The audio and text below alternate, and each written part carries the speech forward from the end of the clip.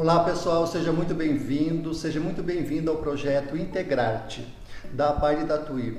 Esse projeto tem por objetivo integrar as artes de forma lúdica e prazerosa para crianças e adolescentes com ou sem deficiência. Eu irei contar a história de Raquel Prestes. O menino passou por aqui. Essa história foi inspirada em seu filho e mostra com criatividade todos os passos de um menino que sai pelo mundo afora para brincar, correr e pular, mas no final sempre sabe que pode voltar para o aconchego de sua família.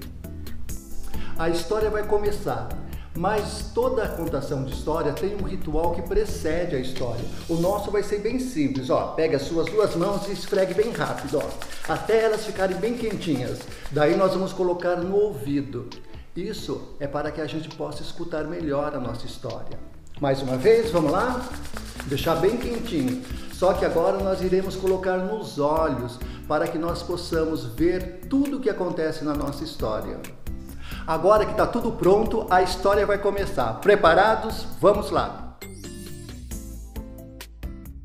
O menino passou por aqui. Apressado foi procurando uma diversão Jogar bola era sua intenção. O menino passou por aqui. Subindo, descendo, caminhando, correndo, querendo brincar. O menino passou por aqui. Assobiando, cantarolando, feliz da vida, sempre cantando. O menino passou por aqui apavorando a bicharada, assustando a galinhada, provocando a maior confusão. O menino passou por aqui. Apressado, foi para junto do papai e da mamãe. E assim terminou a nossa história. Vocês perceberam que os desenhos que contém a nossa história foram realizados através de carimbos de mãos, dedos e pés?